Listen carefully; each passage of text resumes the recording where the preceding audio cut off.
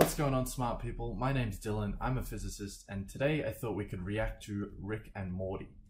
I was suggested this uh, show because apparently it has a lot of complex physics theories and ideas that are explored in it. And I thought that was pretty intriguing, so let's check it out together. I'm not sure how many of you guys have seen this show, um, but it's meant to be pretty popular, so let's have a look. I've currently got up episode one of season two, A Rickle in Time. So let's have a look.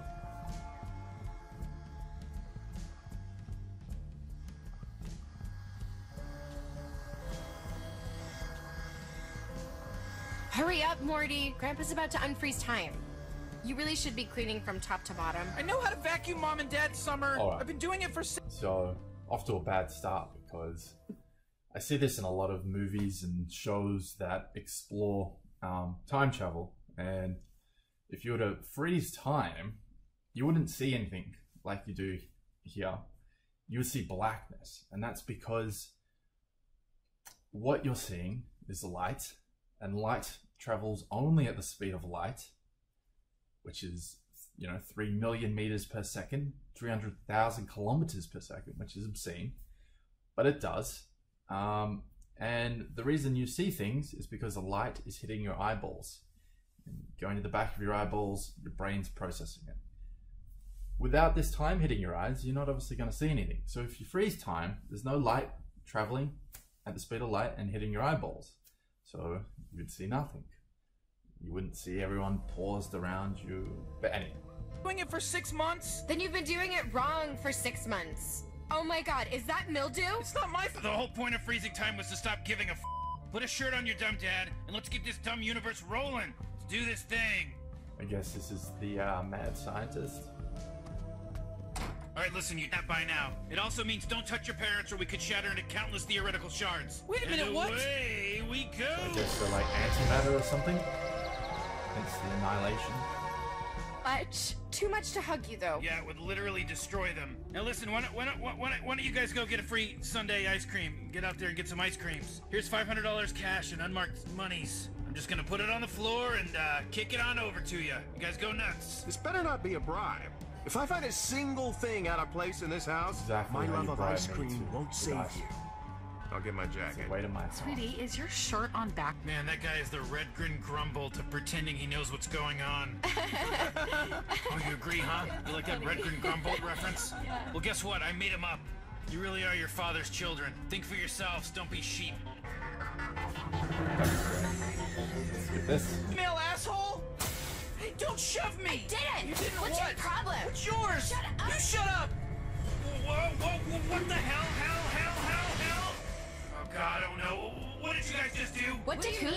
Wait, what am I saying? Were either of you guys uncertain about anything just now? Oh man, I don't feel good. Am, I talking right now? I think so.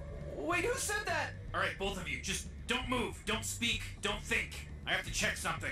I'm gonna help Grandpa. What do you mean you're gonna help him? I can help too. What's What's going on, happening, Grandpa? Shut up! Oh crap, are you kidding me? Two dots? This never needs to be more than one dot. The two of you made us uncertain. What are you talking English, about? lady, English? Our time is fractured. You two somehow created a feedback loop of uncertainty that split our reality into two equally possible impossibilities. We're, we're Right. So they're implying a lot of things here from physics, which is cool. Um, I, I heard uncertainty, so they're implying they're implying Heisenberg's uncertainty principle. Um, I'm not sure how it relates here, but what that it doesn't really. They've sort of just chucked it in there as a buzz term to impress all the geeks, I guess. But Heisenberg's uncertainty principle is essentially you can't know a particle's momentum exactly at the same time as its position.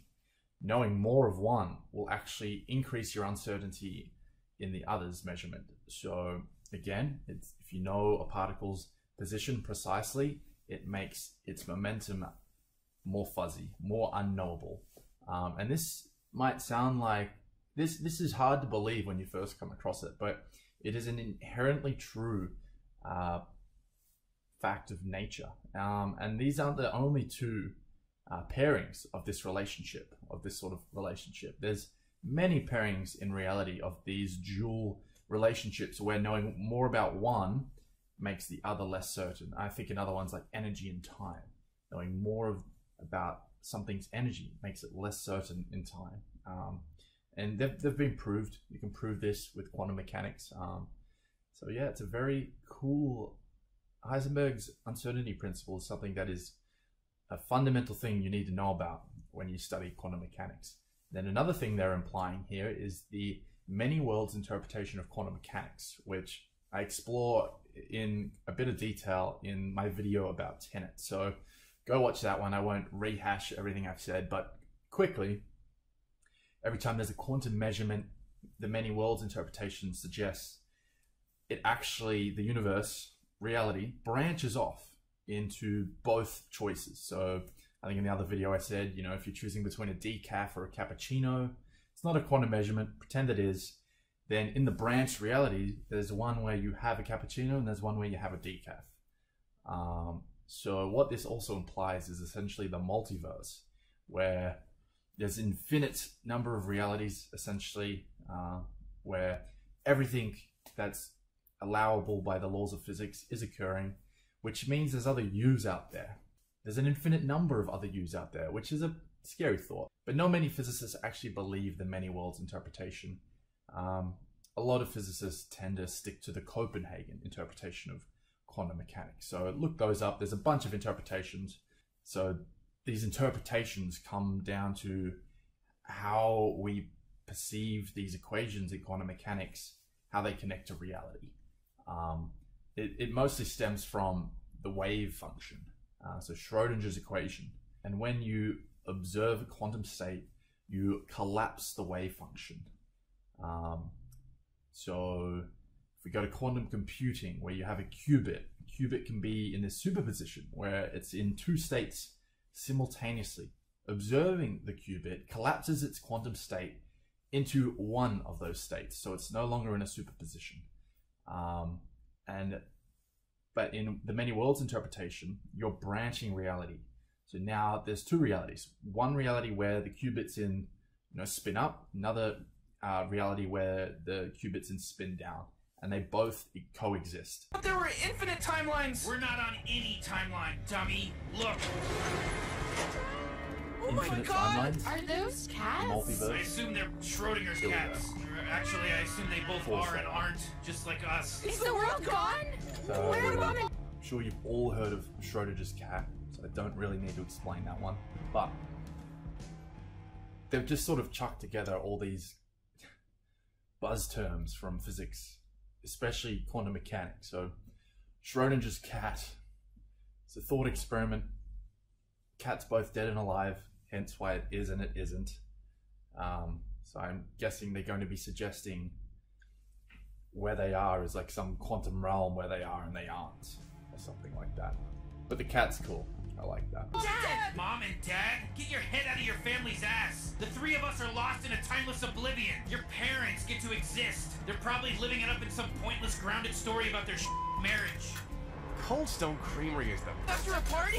Look, there's no time to hold me accountable, Morty. Like, literally no time. Look around. Uncertainty is inherently unsustainable. Eventually, everything either is or isn't. And we've got about four hours to be is. Or be Isn't. Since this time crystal exists in both possibilities, and since it's impossible that I didn't They just mentioned time crystals, so that's another real thing.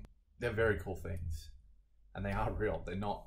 They may, they may sound like some supervillains doomsday device, but they're real.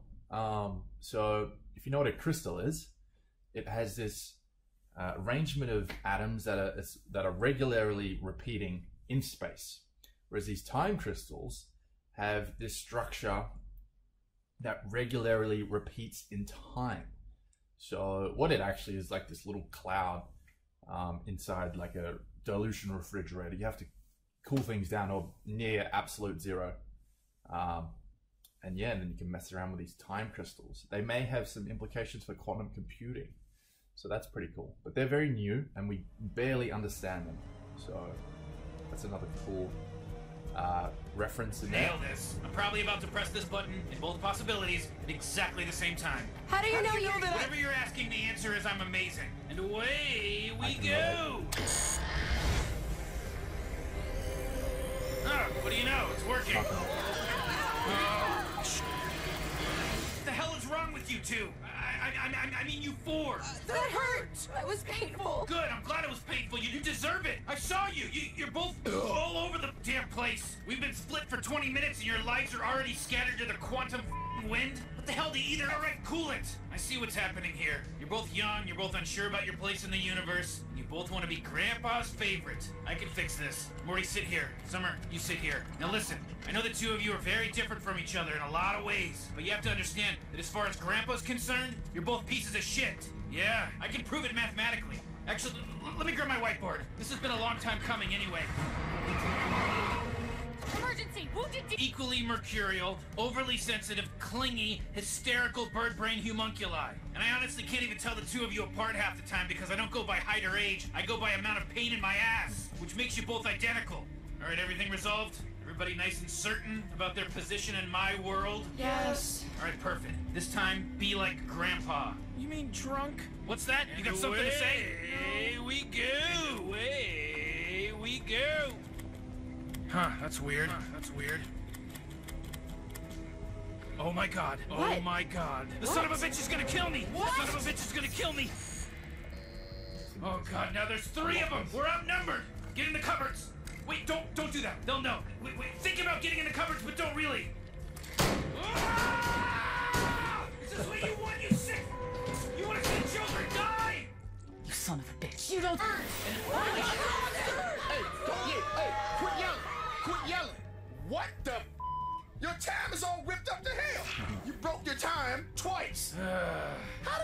did this happen? We don't even know. Unfroze time. Shut the f- up. Oh, damn. I'm from the fourth dimension. I can hear all of y'all. Now let's just see what we got here for a Right. second. So, if there were such four-dimensional creatures, or at least in Einstein's view of uh, space and time and gravity, you know, he bunched up all the spatial dimensions and treated time as the fourth dimension. So, in that, if that was reality, um, if that's how the world really worked, which I think space-time is doomed, and there's got to be more to it than Einstein's view. Um, but say it were, then um, you might have these four-dimensional creatures running about. These four-dimensional beings might really actually be able to just at will move through time seamlessly, backwards and forwards, going to wherever they want in space as well as time. Who knows? Oh, I like Hey, what I like where it. they're going. Were you trying to use this to?